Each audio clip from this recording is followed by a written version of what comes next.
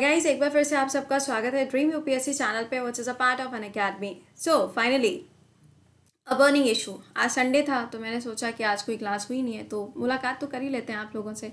तो फाइनली यहाँ पे आपके सामने जो टॉपिक डिस्कस होने जा रहा है, वो टैक्स के ऊपर है। अब ये जीएसटी वाला टैक्स के बारे में बात नहीं करेंगे। हम जी सेवन के टैक्स के बारे में बात करेंगे जहाँ पे बोला गया है कि जितनी भी कंपनीज़ हैं, जितनी भी ऑनलाइन कंपनीज़ हैं लाइक गूगल है या फेसबुक है या आपका अमेजोन है फ्लिपकार्ट है, ये जितनी भी कंपनीज़ हैं, इन सबको 15 परसेंट टैक्स पे करना पड़ेगा। अब ये पूरा सिनारियो क्या है, इसको हम लोग समझेंगे। और जी सेवन के बारे में हम बात क्यों कर रहे हैं, क्योंकि जी सेवन की जो समिट है, वो अभी स्टार्ट हो चुकी है। क्योंकि देखो, इसमें डिफरेंट डिफरेंट सेक्शंस होते हैं। अब जैसे कि अगर आपने देखा कि जो हेल्थ मिनिस्टर हैं, उनकी बैठक अलग होती है फाइनेंस मिनिस्टर हैं, उनकी बैठक अलग होती है। तो अभी फाइनेंस मिनिस्ट्री की जो बैठक है, उसका आयोजन किया गया। तो यहाँ पर हम बात करेंगे कि ये टैक्स कितना होगा कहाँ पर पे करना पड़ेगा और कौन सी कंपनी को पे करना पड़ेगा राइट लेकिन इसके अलावा डेली करंट अफेयर्स के लिए वाईफाई स्टडी स्टूडियोज चैनल पे सुबह सात बजे जुड़ना ना भूला करें। भाई सेशन को एक बार से लाइक और शेयर मार दीजिएगा। This is your responsibility and अगर चैनल पर पहली बार आए हैं then do subscribe the channel अच्छा अब बात करते हैं कि हुआ क्या। देखिए जी सेवन की जब आप बात करोगे तो सबसे पहले आप यहाँ पर आके इस इमेज के बारे में एक बार से बात कर लेते हैं। जी सेवन जो है, पहले ये क्या हुआ करता था? जी एट हुआ करता था। इसके अंदर रशिया भी एज अ मेंबर था। लेकिन जब रशिया ने 2014 में क्रीमिया के ऊपर अटैक कर दिया, क्योंकि दैट वाज रॉन्ग गलत था वो तो अटैक करने के बाद में ये जो बाकी कंट्रीज़ थी, इन्होंने इनको क्या कर दिया? बाइकआउट कर दिया। और बाइकआउट करने के बाद में इसके अंदर टोटल कितने मेंबर्स बचे? सात member Canada France, Germany, Italy, Japan UK and US अब ये जो यहाँ पे मेंबर्स बचे हैं, इन मेंबर्स ने डिसाइड किया है, ठीक है? It's a proposal point to be noted ये एक तरीके का प्रपोजल है जो डिसाइड किया गया है। लागू कब होगा, कब से ये सब चीज़ें इंप्लीमेंट होना शुरू होंगी, अभी इसके बारे में नहीं पता बट इसको अभी अप्रूव करने के बारे में कहा गया है। तो ये क्या है? इन्होंने एक पूरा का पूरा सिनेरियो बनाया, ठीक है? उसमें दो चीज़ें हैं, बहुत ही ध्यान से समझिएगा।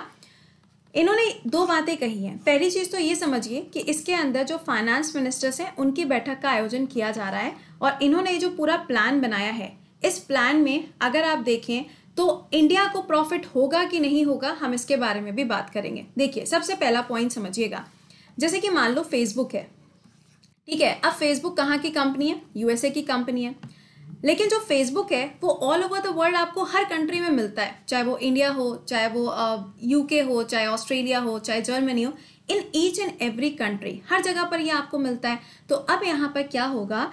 फेसबुक कहाँ की कंपनी है? यूएसए की कंपनी है। तो अब यूएसए के पास में राइट होगा कि वो फेसबुक के ऊपर 15 परसेंट टैक्स इम्पोज कर सकते हैं, ताकि उस कंपनी को जो प्रॉफिट हो रहा है अलग अलग देशों से, उसका कुछ हिस्सा जो है, वो पेरेंट कंट्री को दिया जा सके। पेरेंट कंट्री का मतलब है कि वो जो पर्टिकुलर कंपनी है, वो कौन सी कंट्री की है, उसके हिसाब से हमने पेरेंट कंट्री का नाम यहाँ पे यूज़ किया है। तो ये ध्यान रखिएगा कि इनको 15 परसेंट किसको, उस पर्टिकुलर कंट्री को, जहाँ की वो कंपनी है 15 परसेंट एज अ टैक्स देना पड़ेगा। अब आप कहेंगे कि मैम अगर 15 परसेंट इनको टैक्स देना पड़ेगा तो ये कौन कौन सी कंपनीज़ के लिए है? तो इस बात को समझिएगा कि ये फ़िलहाल यहाँ पे बोला गया है कि जी सेवन के अंदर जितने भी देश आते हैं, अभी पहले इन कंट्रीज़ के अंदर इनको इम्पोज किया जाएगा। ये ऐसा हो क्यों रहा है? तो ऐसा इसलिए किया जा रहा है क्योंकि देखो कंपनीज़ तो डिफरेंट डिफरेंट होती हैं। ट्विटर अलग है फेसबुक अलग है इसके अलावा आप देखोगे तो गूगल अलग है। तो ये अलग अलग कंपनीज़ हैं। प्रॉफिट भी इनका अलग अलग है। किसी का बहुत ज़्यादा प्रॉफिट होता है किसी का एवरेज प्रॉफिट होता है और किसी का प्रॉफिट नहीं भी होता है। लेकिन अब क्या होगा? जो टैक्स होगा वो कॉमन होगा इन सातों देशों के अंदर। That will be fifteen percent तो ऐसा नहीं है कि वो सारा का सारा पैसा जाके किसको यूएसए को दे के आएगा। नो no, जहाँ की कंपनी है वहीं पे आपको जाके ये टैक्स जो है वो पे करना पड़ेगा। तो पहला जो प्रपोजल इसके अंदर दिया गया है, वो ये है। अच्छा दूसरा प्रपोजल क्या है? इसमें दूसरा प्रपोजल ये दिया गया, जैसे कि सपोज़ करो, कई बार क्या होता है कि कोई कंपनी हमारे देश के अंदर आई, ठीक है ना? हमारी कंट्री के अंदर कोई भी कंपनी आई। अब इंडिया के अंदर सपोज़ करिए गूगल आई।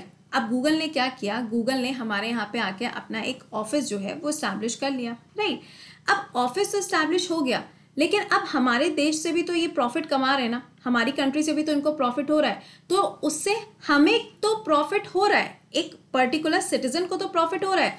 लेकिन इंडिया को उससे क्या फ़ायदा हो रहा है? ये क्या आपने कभी सोचा है? मानो यहाँ पे कि जो गूगल है, वो इंडिया के अंदर आ गई, इससे भारत के नागरिकों को तो प्रॉफिट हो रहा है। लेकिन क्या ओवरऑल इंडिया को कोई प्रॉफिट हो रहा है? इंडिया की जीडीपी में क्या कोई प्रॉफिट हो रहा है? इंडिया की इकोनॉमी में क्या कोई ग्रोथ हो रही है? नहीं ना? तो ये कैसे हमें पता चलेगा? हाँ या ना? तो ये हमें तब पता चलेगा कि जब कुछ अमाउंट जो है वो गूगल के द्वारा दिया जाएगा किसको? इंडिया को। तो अभी यहाँ पे ये डिसाइड किया जा रहा है कि ये जो जी सेवन कंट्रीज़ हैं इनके अंदर जितनी भी कंपनीज़ आती हैं, वो जिस भी कंट्री के अंदर जाके अपना ऑफ़िस लगाएँगी या फिर जिस भी कंट्री के अंदर जाके अपना एक कह सकते हैं कि आप जस्ट लाइक कि वो एक अपना सेंटर खोलेंगी तो उस पर्टिकुलर कंट्री को भी कुछ परसेंटेज देना पड़ेगा। जैसे कि देखो इंडिया के अंदर आपने सुना होगा कॉरपोरेट एक्ट के बारे में कॉरपोरेट एक्ट जो है वो ये कहता है कि किसी भी कंपनी ने जितना भी प्रॉफिट कमाया है, उसका दो परसेंट उसको सोशल वर्क के ऊपर खर्चा करना पड़ेगा। दिस इज़ मैंडेटरी इंडिया के अंदर ये क्या है? मैंडेटरी है।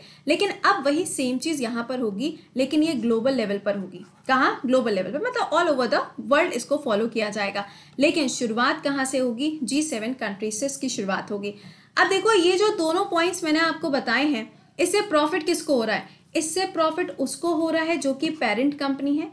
इससे प्रॉफिट उसको हो रहा है जहाँ पे उस कंपनी ने अपनी एक ब्रांच जाके खोली है। तो क्या ऐसे गूगल को कोई प्रॉफिट हुआ? फेसबुक को कोई प्रॉफिट हुआ? या फिर ट्विटर को कोई प्रॉफिट हुआ क्या? चलो, इसके बारे में भी आपको बताते हैं। अब सुनिएगा। यहाँ पे काफ़ी सारी ऑनलाइन जैसे कि अमेजोन फ्लिपकार्ट ये सब भी हैं। अब इन सब लोगों ने ये कहा है कि ठीक है, हम आपकी इस बात को मानने को तैयार हैं। तो इनको भी तो कोई ना कोई प्रॉफिट हो रहा होगा, तभी तो ये बात को मानने को तैयार हुए। ऐसा तो हो नहीं सकता कि प्रॉफिट ना हो रहा हो और तब भी बात को मान रहे हैं। तो यहाँ पर क्या हुआ, जब इन कंपनीज़ ने ये बोला कि हाँ हम आपकी इस बात को मानने को तैयार हैं कि एक पर्टिकुलर क्या किया जाएगा टैक्स जो है वो डिसाइड किया जाएगा और ये टैक्स हम आपको पे भी करेंगे। वी एग्री लेकिन यहाँ पे एक पॉइंट और आता है डिजिटल सर्विस टैक्स जो मैंने अभी आपको बताया दो परसेंट तीन परसेंट ये जो टैक्सेस पे किए जाते हैं। अब ये जो टैक्सेस पे किए जाते हैं, अगर सपोज़ करो इसको फिक्स कर दिया जाता है फिफ्टीन परसेंट यानी कि अगर मान लो फिफ्टीन परसेंट भी नहीं, अगर मान लीजिए कि फाइव परसेंट सेवन परसेंट अलग अलग कंट्री के अंदर अलग अलग ये परसेंटेज रहेगा ना, लेकिन इसको अब आपको फिक्स करना पड़ेगा फिफ्टीन परसेंट और अगर ये फिफ्टीन परसेंट पर फिक्स हो जाता है तो बाकी जितने भी टैक्सेस वो पर्टिकुलर कंपनी देती थी उसको वो एक्स्ट्रा टैक्सेस पे नहीं करने पड़ेंगे।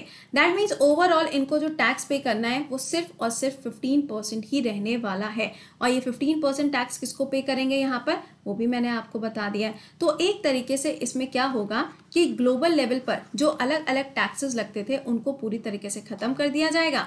ये पैसा दे दिया जाएगा किसको? जो पेरेंट कंट्री है। और कुछ परसेंटेज यहाँ पे डिसाइड किया जाएगा, जो जिस कंट्री के अंदर गया है, वहाँ पे जाके उसको कितना पैसा देना है। अब सवाल ये आता है कि इसको इम्पोज कब से करेंगे?